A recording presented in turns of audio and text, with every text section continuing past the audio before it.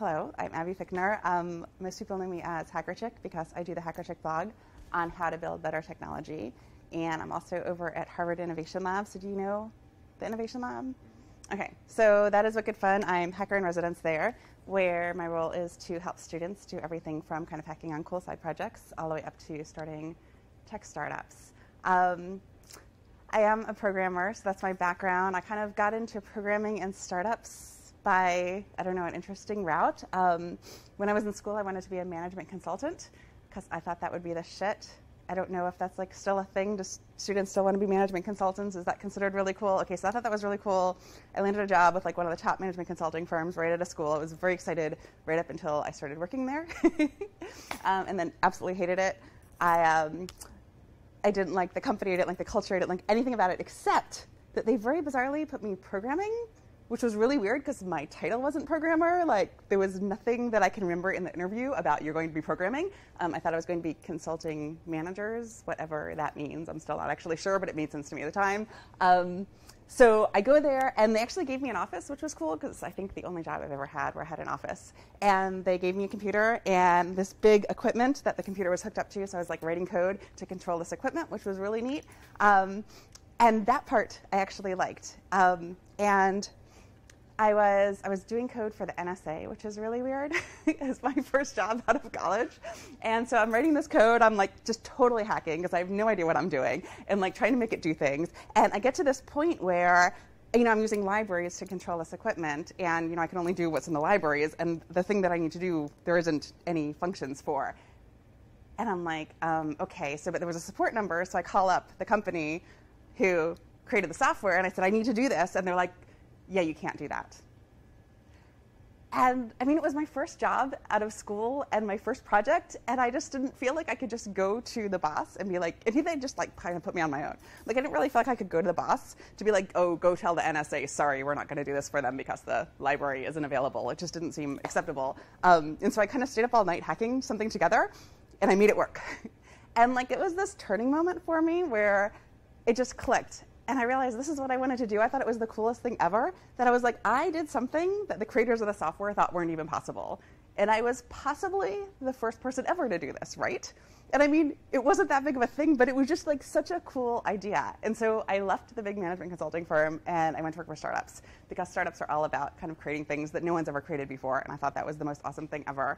So um, I did that for a number of years, kind of built out the technology for startups. And then I kind of, as I was saying before, got into this area where I'm just going around helping hackers and tech entrepreneurs who are building innovative, disruptive products, helping them to do that and find ways to do that in which they can be successful in the market. So that's what I want to talk to you guys about today. So for me, I think it's a really exciting time to be in this space right now because technology is expanding at this incredible rate and it's making all these opportunities available that were never available before. So I feel like we're back to that point where you can create things that no one ever created before. And especially you look at things like 3D printing. So people are 3D printing things like human organs or food. NASA has started 3D printing food for astronauts. So this is a 3D printer with like Joe and pizza sauce and cheese as its cartridges rather than polymers. And cars, so Urbee 3D printed the world's cheapest and most fuel efficient car, and they're about to drive it across the country and under 10 gallons of fuel, which is pretty crazy. And of course, everything going on with mobile and the fact that things like 3D printing are making creating physical devices so much cheaper um, has led to the Internet of Things, which is this notion that, hey, why, why do we have to have the functionality in our computers and our tablets? Why don't we take it out of those and actually put it right into the devices where we care about? And so we're getting things like David Rose um, over at the Media Lab created an umbrella that tells the weather. And so you can imagine it in an umbrella stand by the door, and as it senses you walk past it, if it's going to rain, it'll blink so you know to take it with you. Or Valour created a bike that gives you directions and gives you all of your riding stats. Or Happy created a fork that monitors your eating habits to help you eat more healthy. And everything from self driving cars to mind controlled helicopters, um, even things that we thought of as very low tech, like reading the news. Uh, Gannett just announced that they're working on virtual reality journalism, where you absorb the news not by reading it, but by actually like experiencing it and being a part of it. right? or other things that we might think of as low tech, like gardening, because you need to de stress. Because I don't know about you guys, but like I would find living the news being very stressful. Um, so, uh, a team out of MIT Grove has created a produce appliance that will actually you can put in your kitchen to grow fruits and vegetables. And so it's really cool looking at all of the startups. Like there's just this amazing number of startups that are out these days that are trying to take advantage of these technologies. And what's really interesting um, is just looking at all of these things that are coming up, but realizing only a very small percentage of those startups are actually going to make it into the future, and kind of understanding why some of them make it and some of them don't. So um, I gave a talk last month at an engineering conference, and I wanted to talk to them about this topic. And I thought they're engineers, they want rules. Like, I'm an engineer, I like rules, it's very nice and neat, right? So, trying to come up with the rules of innovation. And as soon as I did that, I realized that's kind of silly. Like, the first rule of innovation is that there are no rules of innovation, because if you're doing it right, then you're breaking more rules than you're following. And of course, Thomas Edison famously said that I have not failed, I've just found 10,000 ways that won't work. And so, of course, the more innovative that you're being, you need to kind of expect that you're going to find more ways that don't work. Um, but the good news is it's not a complete black hole. There's, um, when you look at the startups that have been successful, the innovators that have built these products that have been successful in markets, what you'll see is time and again the same patterns emerging of the things that they're doing. And a lot of these, you know, when you kind of dig down into them, they're kind of predicated on a lot of the principles behind lean and agile, and people just taking those and saying, how can these make sense for a startup? So I want to go through these. Um, to be honest, I think I'd like to spend about half the time on this last one, this focus and get shit done, because really that's what it comes down to. Um, but I think the first four are really important to understand sort of the context and the mindset that you need to enter into when you're doing something really innovative that hasn't been done before. So the first principle is eliminate waste, which, if you know anything about lean principles, that's one of the key principles of lean.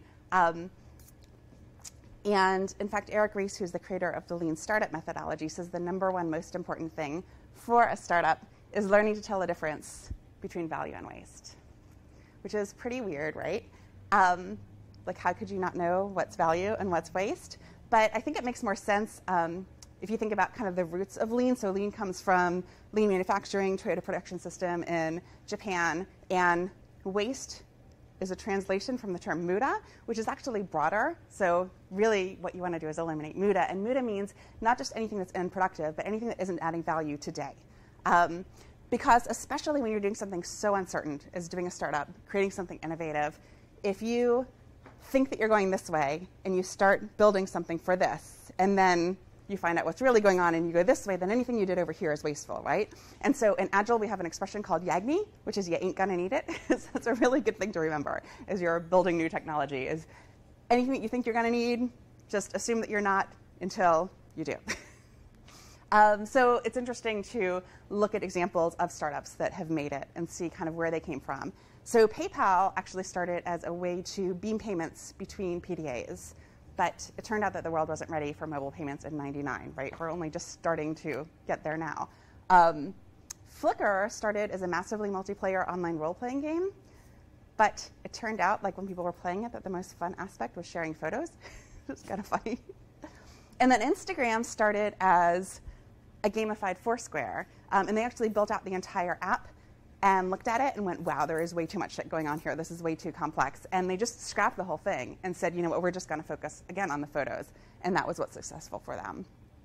And so these are the ones that made it. But when you kind of look across the board, the stats are pretty bleak because the stats are that nine out of 10 new products fail, which is pretty abysmal. And, you know, as developers, as people who work with technology, I think when we look at a stat like this, we understand how hard it is to build the tech when you're building something that's not been built before, and we assume that these are failing because we can't build the technology. But when you really dig deep, what's happening is it's not, these startups are, these products aren't failing not because the technology didn't work, they're failing because the people who created them weren't able to find a market for them. Um, my favorite, favorite example of this is a company called Actuality Systems, which was actually here in Boston. They created a 3D holographic display. Like, that's pretty badass, right? They created it and they got it working, and then they spent the next 10 years. So they created this. This is would be impressive to create today, right? They created this over 10 years ago. They spent the next 10 years trying unsuccessfully to find a market for it and create a viable business out of it. And in the end, had to shut down, and all they could do was sell off the license for the technology. Um, so were they successful in innovating? I mean, they got the technology to work. That's amazing. But if you're trying to actually build a viable business out of this, not so much. And so what's interesting is um, there's been research into what's kind of the single biggest predictor of startup failure. Do any of you want to guess what this is? No market, yes. um, so something that actually I should have said, something that startups do, that if they do this thing, it's the biggest predictor that they're going to fail, or the biggest indicator. So no market is sort of something that happens to them. so Don Sull did a survey into this, and what he found was the single biggest predictor of startup failure was sticking, whoa, was sticking to the initial business plan which is pretty confusing, right? Because like if you're starting out any new venture, um, if you try to figure out if you're on track or not, like even that terminology on track implies that you're tracking according to plan, and so if sticking to plan means that you're going to fail, it's very confusing, right? And so that kind of brings us to innovation pattern number two, which is that you should really start small. And this sort of breaks our mental model, I think, for how people think about how startups operate. Because I feel like we've got this image of startups is go big or go home, baby, right? Like, I've got a big vision, and boom, I'm going to go big, and I'm going to be the next Facebook. But the question is, how do you do that, right? How do you go from nothing but an idea to like a billion users like Facebook has?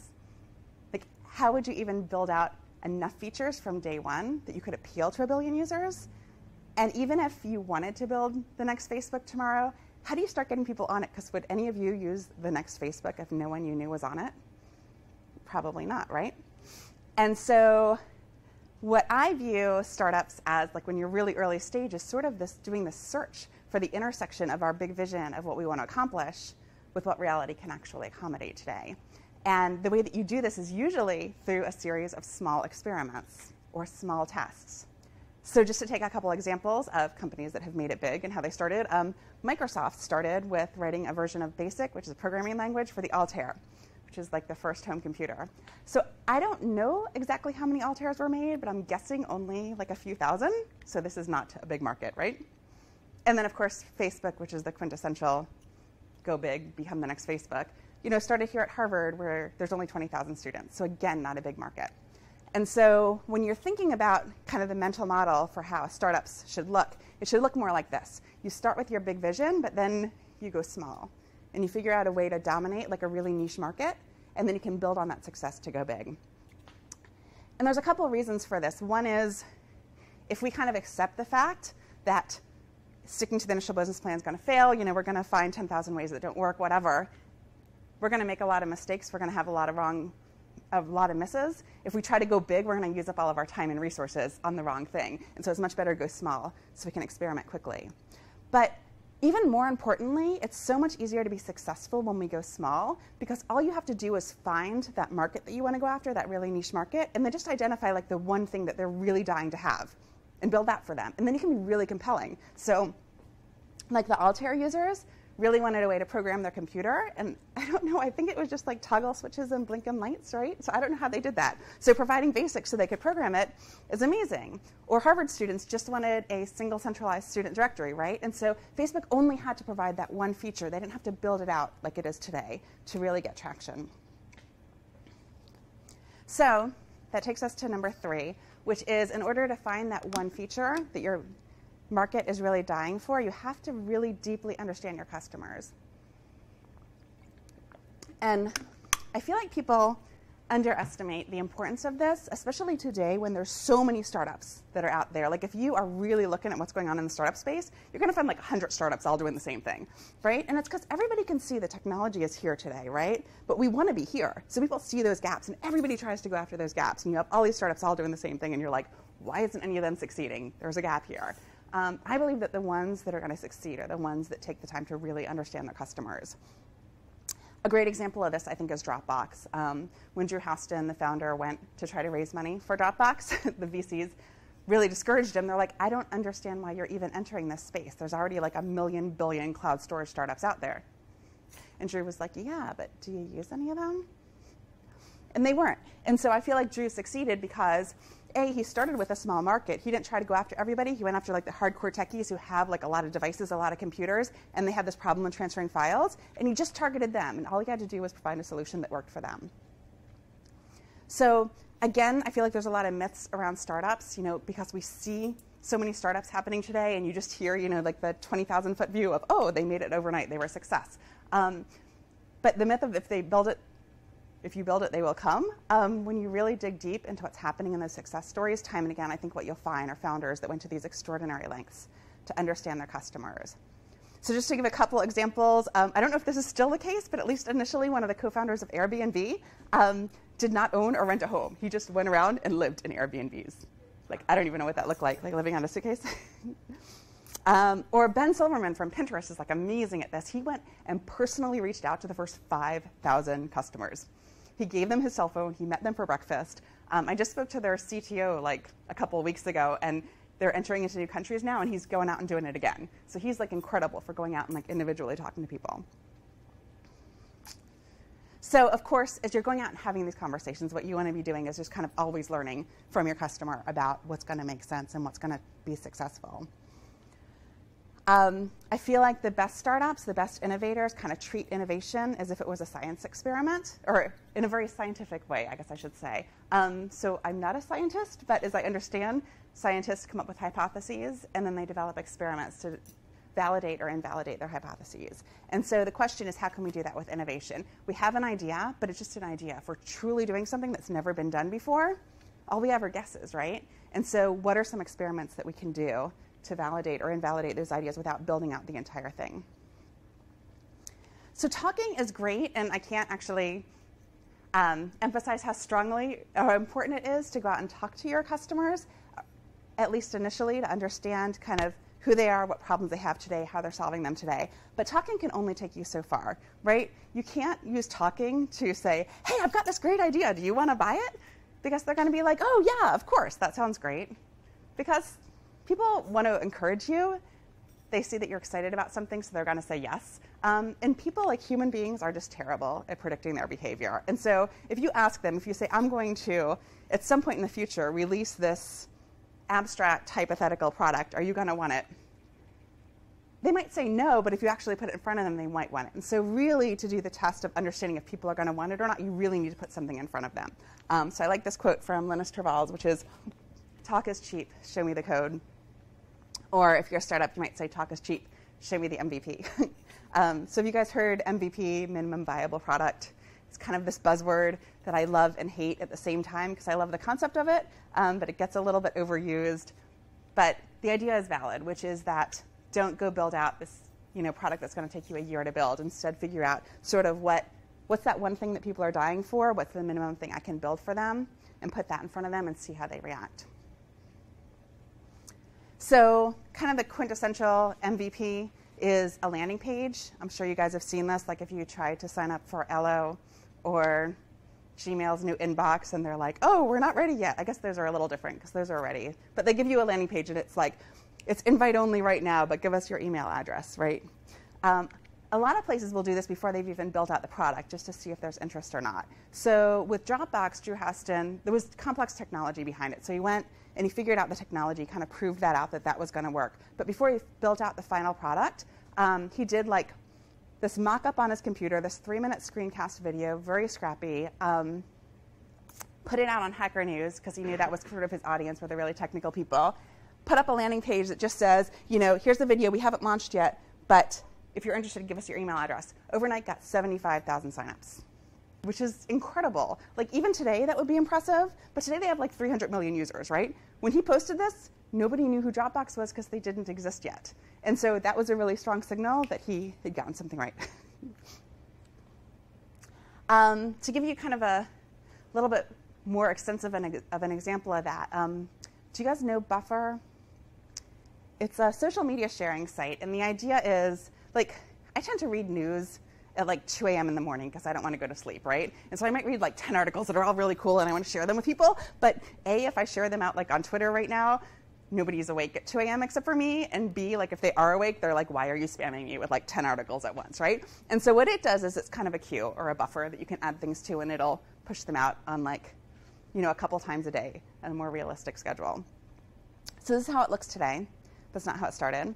Um, the founder had this idea, and he thought this was a good idea, but he didn't want to build it. He didn't want to quit his day job yet until he kind of got some validation that other people thought it was a good idea too. So he didn't even need a video. It was such a simple concept. Just start with Twitter, puts up a landing page. This is what we do. He tweets it out. When people click plans and pricing, it just gives us gives them a you know you caught us before we're ready, but if you're interested, give us your email address. Tweets it out. People went to the site. They were given their email address. He's like, okay, that's a pretty good indicator that there's some interest. So I'm ready to go to the next step, but I don't want to build it yet. I want to see if I can even make money. Like people are interested, but can I make money off of it? Can I make it into a business? So all he did was added a middle page when people click plans and pricing um, with free pricing plans. One was free, two were paid. Kept tweeting it out. People kept clicking. Most people did the free plan, but some people did the paid plan. He's like, you know what? That's enough validation, not for me, maybe to quit my day job and spend a year on this, but for me to just go heads down and do like a really simple version of this. Um, he thought it was going to take him a day. Technology's hard, so it took him like seven days, but you know it was enough for him to spend seven days on it. Um, and very quickly, he started getting users on that first version, even though it was very minimal. And what was awesome about that was he was able to see how people were really using it and then kind of evolve it based on them using it. So Buffer is wonderful because it's a really simple example. Not all technology is that simple, but this is sort of like the quintessential lean startup approach, right? This is great. You're kind of testing at every step, and you're only going far enough that you've validated that it's kind of worth your time to do. Um, another great way to get validation, of course, is doing a crowdfunding campaign like Kickstarter, where you can get pre-orders. Um, this makes a lot of sense if you're doing anything that's hardware. Um, again, you know, Pebble was was the biggest Kickstarter until they got taken over by, or taken, that title got taken by a cooler. Did you guys see this? Like an actual like cooler that you bring to a picnic, like beat out. So they got more than $10 million. um, but again, like Dropbox, you know, with Pebble, it was complex technology. They had to do a proof of concept, make sure they could prove out that the technology could work, but then it's expensive to manufacture. So before they actually manufactured, they put up a Kickstarter and said, "Can we get pre?" Use it to get pre-orders, right? Um, they said, "If we can get $100,000 in pre-orders, it's worth it to go forward." They got 10 million. It's doing pretty good. Pretty good validation. so these ideas are all really great, but as we say in startups, ideas are a dime a dozen. It's all about execution. So this is my favorite part, is the focus and get shit done. Um, so the best entrepreneurs are able to just kind of have this crazy, intense hyper focus and get things done at an amazing pace. Um, so I kind of want to walk through, before I go there, some of the development practices. Um, and you, I can ask questions if you have them. I wasn't quite sure what, um, how much you guys knew about development practices, so kind of have a discussion about what that looks like when you're developing something like this. So the first thing is to kind of figure out, okay, what is it that I should be focusing on? Which can be really challenging when you're doing something new because everybody has all these ideas and there's like so many different directions you can go and so many different questions that you have. Um, so step number one, figure out what to focus on. A lot of times as developers, as people who are thinking about technology, we're really thinking about the product. So we think about things kind of in this order, like first, can I build it? Assuming that I can build it, then can I get people to know about it? Assuming that I can, can I make money from it? But if we're trying to do a viable business, we might want to be thinking of those in the opposite order. Um, the reason is I feel like, and I do this like myself, so I get it. I feel like we get very hung up on this "can I build it" question because if you're a technology person, if you're a developer, you're really thinking about that. But the truth is, usually when we come up with an idea for a startup, we're coming up with it based on I've seen this technology here and this technology here and this technology here. And if I just combine them in some new way, I think it would be really interesting. Well, if I've already seen the technology in those places, I kind of know it exists, right? So, sure, do some proof of concepts if there's some technical risk in there. But for the most part, the things that we're coming up with, unless we're really awesome and doing something totally new, in which case, figure out if you can build it. But usually, most of the startups I see, you can build it. Like, that isn't even a question. Um, so, start thinking about you know, is this something that people are going to be able, going to be willing to pay me for? Um, and then how am I going to reach them? Like that's really hard, especially if you're the technical person. Do you have a way to reach out to these people and get them to buy your product? So once you figure out, okay, what's that question, kind of always have in mind this is the most important question that I need to be driving towards, or the most important thing that I need to be validating. And then you want to get back to this notion of eliminating waste. Just figure out kind of like the leanest, most efficient way that you can go about answering that question. So, you know, I talked about minimum viable product. I would say kind of get into this mindset of minimum viable everything. Um, by which I don't mean that you should be doing a crappy job at things. I just mean how can you cut out the waste? How do you get just right to the heart of the matter and figure out how to validate things without gold plating, without doing more than you need to? So, just to kind of give some examples, I feel like initially you're kind of trying to figure out I have this great idea. Is anyone even going to want it? So, like, a really easy way to do that is a landing page, like we talked about. You don't have to write any code for that. There's like tools that do that for you. Um, if you say, okay, I figured that out, now I want, I'm assuming that okay, people seem to want it. Would they actually pay me money for it? You can do things like what Buffer did with the pricing page, or even better, a Kickstarter and get pre-orders. The next thing that I think you're going to be wanting to look at is, okay, it seems like people want it. It seems like people will um, pay for it. But especially with apps, will people actually use it? So I don't know the stats, but they're pretty abysmal. Like a huge number of apps get downloaded and then never used, and like that isn't helpful. Like that's nice that you got a lot of people downloading it, but if it's not used, you're not going to stick around for long.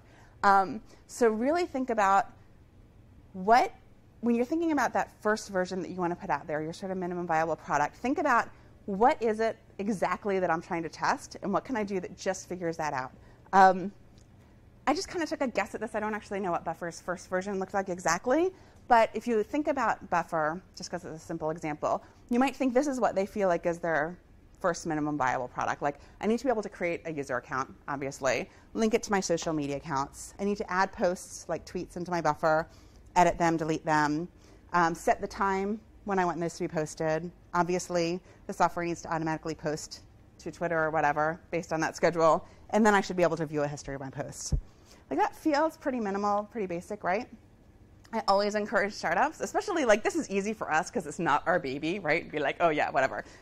Like look at it again and keep saying, is there a way that I can get it stripped down even more? So what is it that we're trying to figure out? If we're trying to figure out if they'll use it, we're trying to see if are they even going to post anything to the buffer.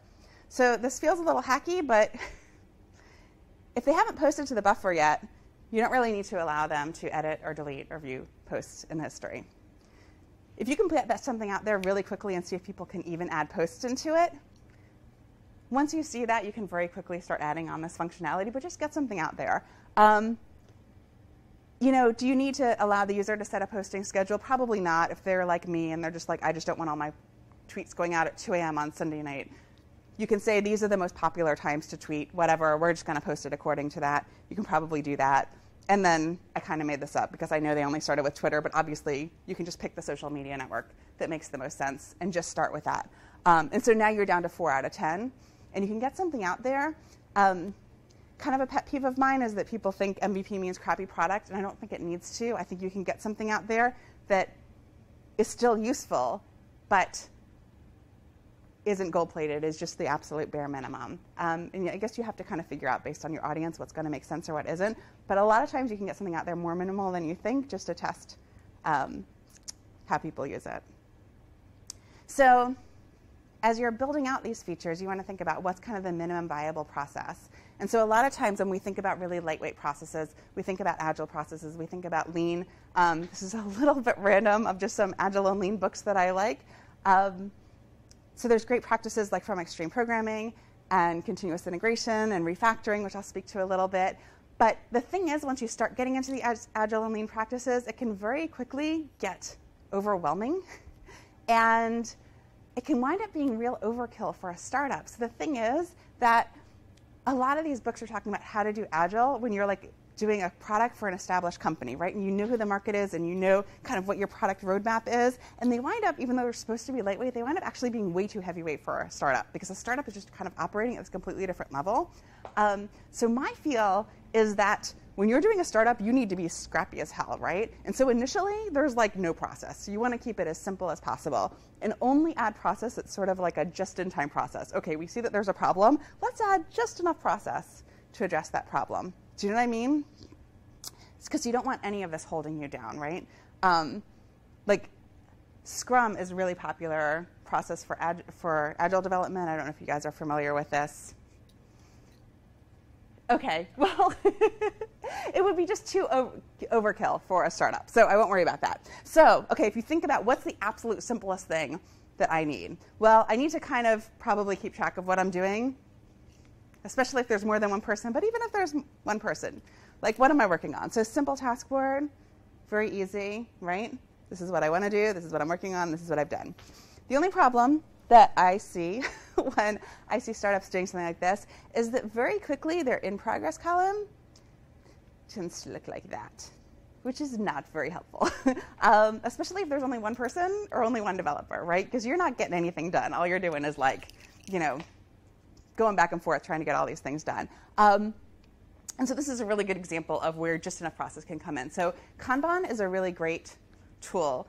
Um, it comes also from lean manufacturing. And the idea is that what we want to do is put constraints around how much work we can be we can handle at any given time. And so if we're one person, then we can only work on one item at a time. Sorry.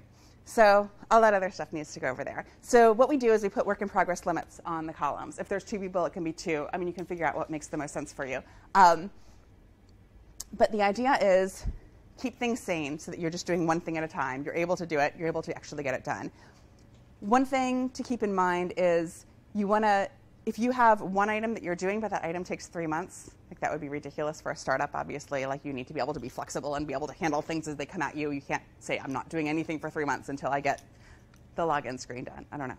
Um, so I advise startups to keep this really short, to keep these tasks so that they fit into a day. Obviously, if it's more complex, that might need to be a little bit longer, but you know, figure out what works best for you. You can try different lengths.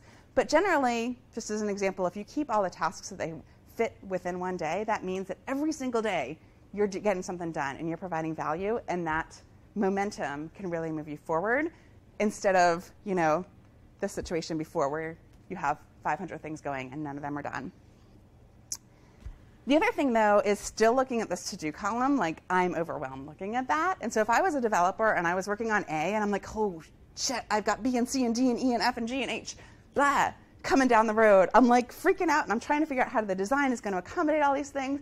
And the truth is, if we accept the fact that we don't actually quite know what the product's going to need to look like until we've put it in front of a customer, then do we really know that we need all those tasks yet? Or are we kind of fooling ourselves?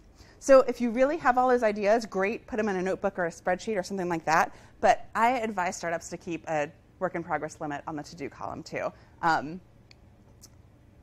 that's like an absolute maximum. I would say how much you can do, get done in one or two weeks. So, you know, it doesn't even have to be that many. That way, you are just hyper focused on this is what I'm doing, getting done this week, or maybe this these two weeks, right? And nothing else is getting in your way, and you're just making sure that you're getting that out there. And especially as you start adding new team members, this really helps. Um, a lot of people like to do this in software, which you can, but it's even better if you all can be in the same space and just put it up on a wall and just really visible, and everyone can just see it and see what's most important.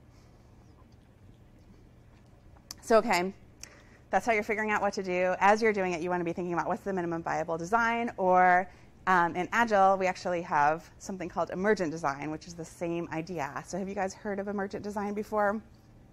Okay, so um, actually, I'm trying to remember where. Okay.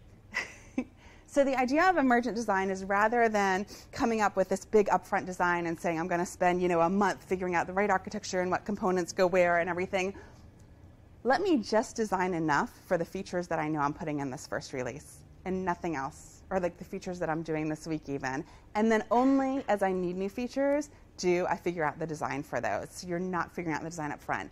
Um, I think in reality, it's not like this on off switch or this toggle. I think it's more of a spectrum of where you kind of fall on the certainty to uncertainty. And so if in a startup, or if you're building something that's never been built before, you're pretty far over on the uncertainty curve here, right? Um, and if you think about it in terms of the business plan, like we talked about, then single biggest predictor of failure is sticking to the initial business plan.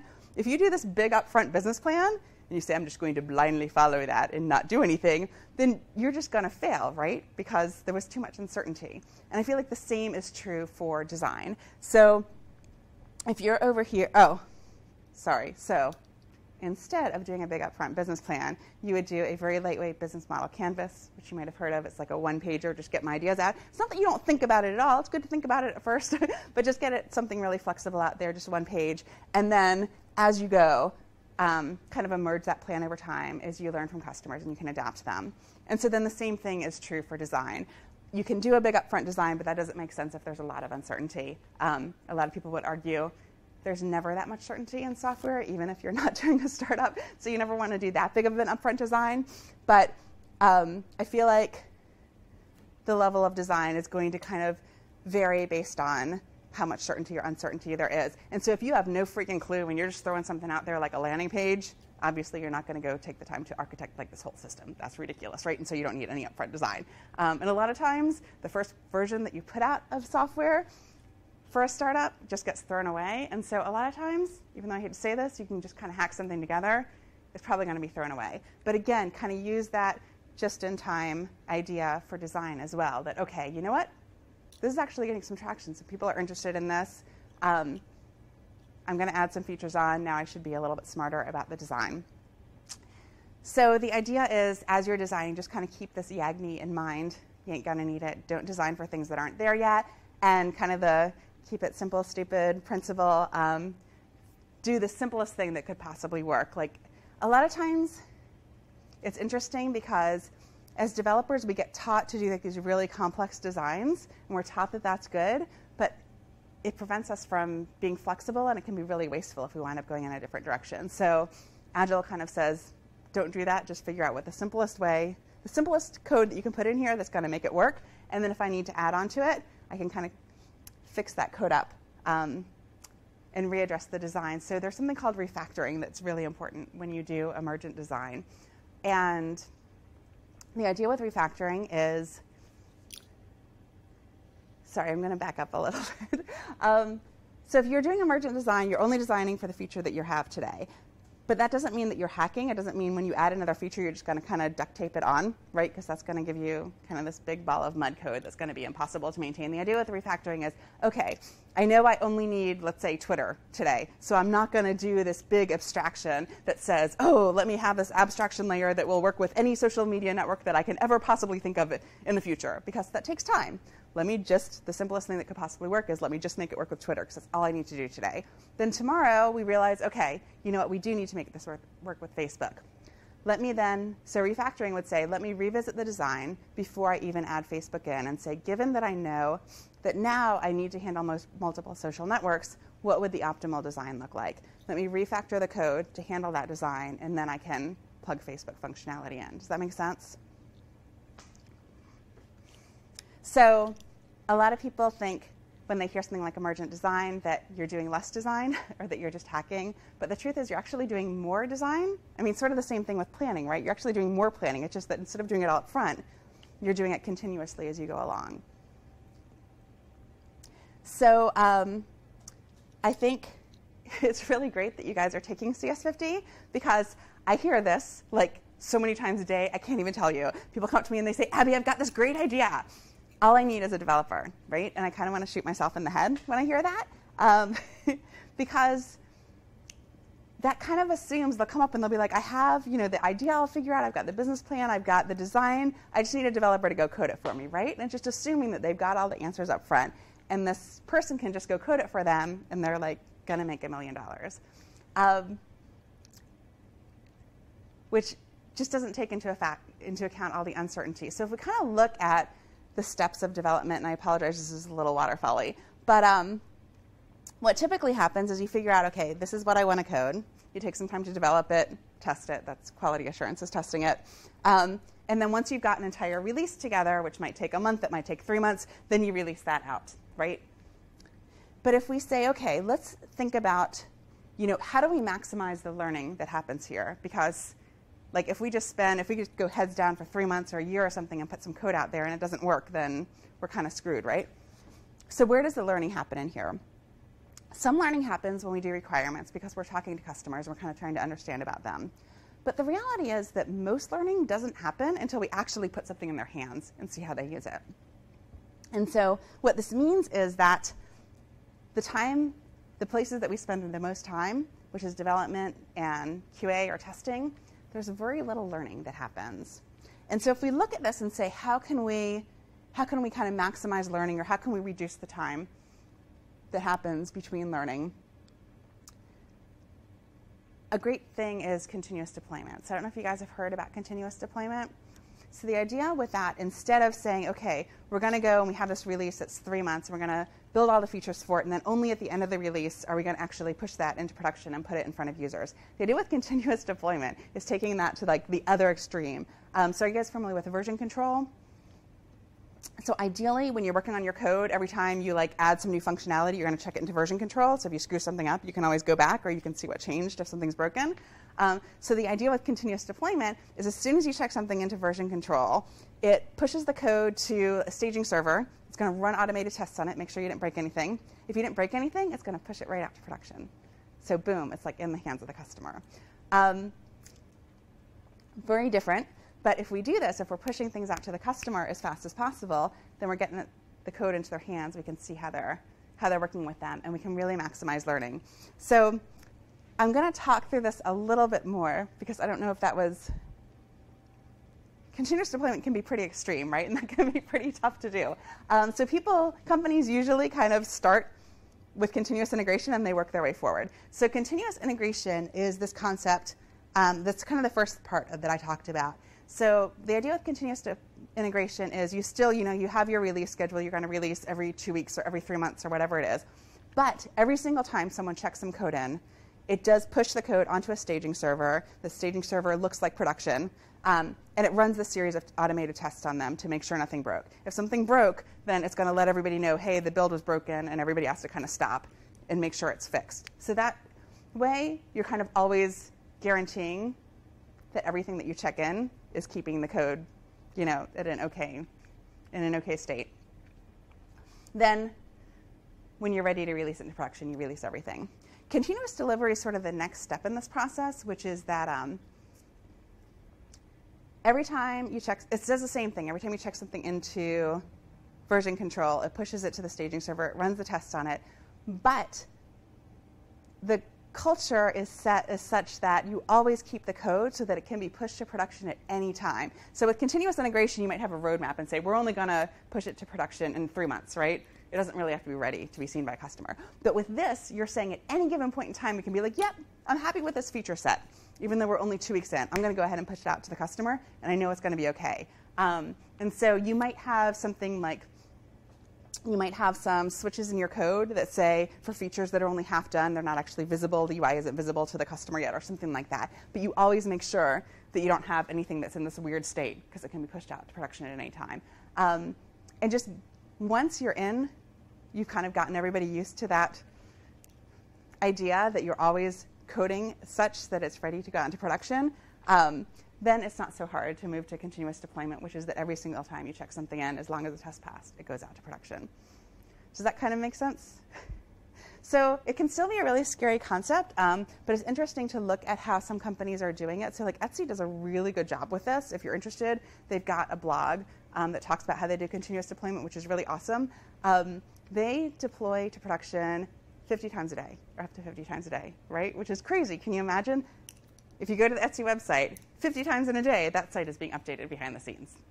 Um, and in 2011, they deployed 10,000 times over the year with 100 engineers. And what they said is, contrary to what you might think, like, oh my God, that's terrible, like the code's gonna be like, the site's gonna be a disaster. They said, actually, once you're deploying that often, like the system is so much more stable. They actually call it confidence as a service. because when we deploy, we've already done this 9,999 times. Like, we got this. Um, it also it makes it so much easier for them to experiment with things. So what they said before is they used to release to production every two weeks or every month. Um, and you guys can, might imagine, like, if you've ever got like a deadline for a big project you're working on, and you have like this list of things that you want to get done, and then as it gets closer to the deadline, the list starts shrinking a little bit. Like, well, maybe I don't really need to do this. Maybe I don't really need to do that. So that's what they said would happen: is they'd get closer to the release, and it was such a big deal they had to get the release out on time that they'd start paring away features. And so they actually did less features because they were only releasing every two weeks or a month. Now that they're releasing so many times, it gives them this flexibility to say, you know what? We want to build a new feature, but we don't know if we should put a lot of time into it. Let's put out this really minimum version of the feature and see if anyone even clicks on it, if anyone's even interested. If they are, then we can either pull it back and build it out, or we can very quickly add new features to it. And so they said it just gave them so much more flexibility to experiment. And so it's really interesting to see bigger companies doing this. Um, and at a startup, especially where you're, it's so important to kind of learn what's going on, it can be really effective. And then coming sort of back to our Kanban board, um, it's interesting. A lot of times when people do a board like this, there's a lot of debate over what the done column means. So, okay, I'm working on a task. Is it done when it's code complete? Is it done when someone's reviewed it and feels like it's tested? Is it done when it goes out into production? And so a lot of startups will say, you know what, we're going to add an, oops, we're going to add a new column in here, which is a learning column. It's not actually done until we've not only put it into production, we've put it in customers' hands, but we've actually learned from how they've used it. And what's really cool about that is then we get to incorporate that learning back into the cycle and say, based on what we've learned, based on what we see, how we see them use it, we can figure out what the next set of to do. So those are the patterns that I have seen for successful innovation um, across the startups that have been successful. I can. I was going to also talk a little bit about kind of resources that are available if you're interested in doing a startup with iLab, I can also stop it here. If you guys have questions about what I talked about, keep going. Okay. Are you good?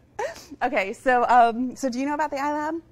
Okay, awesome. So um, the iLab has awesome resources. Um, if you're looking to do a startup, we have anything from, like we do hack nights there. Sometimes we do hackathons if you just want to go hack on cool projects with people. Um, we have workshops. We have classes that are for credit that are kind of cool on entrepreneurship that are open to, most of those are open to everybody. Um, but we also have free workshops a couple times a week that we just bring in experts from the industry to talk about anything from um, technical concepts to raising money to how to do sales, anything that you want around startups. Um, we have experts in residence who are available to do one-on-ones. You can just sign up for office hours with them. You don't even have to have a startup. Just if you've got ideas and you want to bounce, you know, get information or insight from an expert on kind of the same thing: sales, financing. We get legal help. Um, you can sign up for those there. We've always got stuff going on. so if you're interested, um, it's a really great resource. You can go to our site um, the newsletter is really awesome. I kind of usually hate getting email, but it's cool. We have so much going on. Like I don't even know what all it is. So if you sign up for the newsletter, we'll let you know every week what's going on. Um, you can also look at our calendar to see what events are coming up. And I am there to help if you want to do a tech startup. so that's what I've got.